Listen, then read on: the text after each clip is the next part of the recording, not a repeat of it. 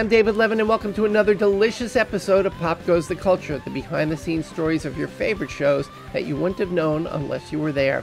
Today, the conclusion of my eight part interview with the great Anson Williams, better known as Potsie on Happy Days.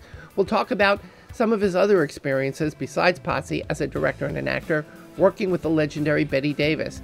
And we'll talk about whatever happened to Richie and Joanie Cunningham's older brother, Chuck. Which Chuck Cunningham? Exactly. There were there were two um, when the series first started. Chuck was Richie's brother, and there was and there was a very good actor. But for some reason it wasn't working, and they thought, well, maybe it's the chemistry. So they bring in another actor. Didn't work. Finally, they thought, you know, we just don't have room for this character. So one episode, Chuck never existed. He was gone. Maybe a couple of phone calls through the years. That was it. But I mean, never mentioned again. Even as much, uh, even on the last episode. Even on the last episode. Tom Bosley says we have two children. We have two wonderful children. I always wondered if he meant we have two children who are wonderful, or we have two wonderful children and one schmuck who never showed up. No, he was. It was no, it just never. It just they just dropped it. In fact, on the Happy Days special reunion special, they they brought both Chucks back. Gavin O'Herlihy, he's doing great. I mean, he's a great actor living in England. I mean, he's doing fantastic. In fact, he was in Willow that Ron Howard directed. And then the other guy, um, he's I guess he's doing some other profession now. Big, he's big now, big guy. Glad I was nice. Good. Rod, Miles. Here was something. It was, it was an interesting story. I didn't. It was. It's a film I produced that Ron Howard directed and I created called Skyward with Bette Davis. And um, here's here's um, here's this icon, right? And she she she she we came she came to the set and we're we're in um, Texas and it's like blistering hot, and she goes, she goes, "You're babies, you're babies." We've got her a limo. We've got her air, portable air conditioning system we invented for her. I mean, so we're, um, and she was, you know, quite, um, quite the star. So we had to really pay attention to Miss Davis. So um, the, the, the, film was designed where um, the first two weeks was with her, and the last two weeks she was done. So we're down to the last day of shooting for her, and we're just saying blue sky. And um, it's. We didn't realize how hot it was, but it was hot enough where your tennis shoes melted on the tarmac.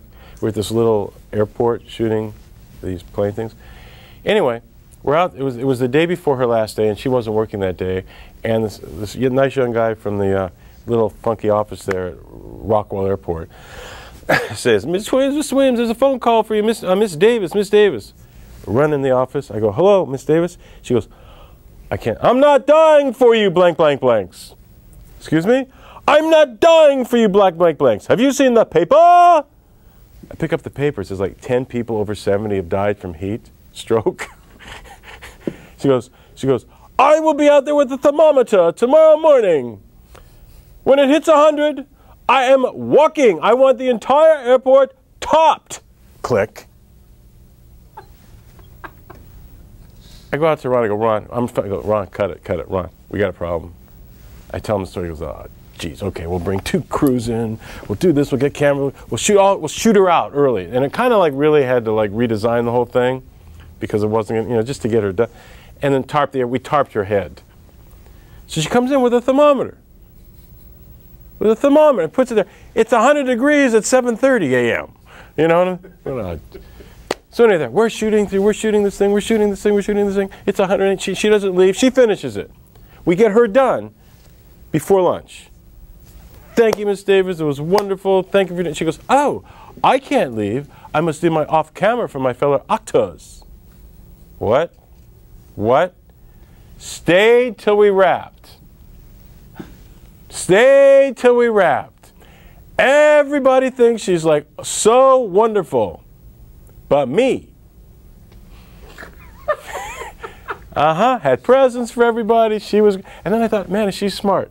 We look like idiots. she goes off. They're applauding as she's leaving. They're applauding. I'm sitting there, okay, I just think, I think I learned a lesson here. I'm not sure what I learned, but I think I learned a lesson here. So I don't know. That's a story. That's a good story. I love that. thank you so much. You I, bet. I had a great time. I Thank you. too. I did. That's it for now. Thanks for watching, and thanks to my guest, Anson Williams. Now, since this interview was done, Anson has gone on to do even more directing, creating new TV series, and becoming an entrepreneur, creating life saving products like Alert Drops. Till next time, thanks for watching, and if you want to see more of these conversations, help us out by subscribing and even perhaps contributing to our Patreon campaign. I'm David Levin. We'll see you next time.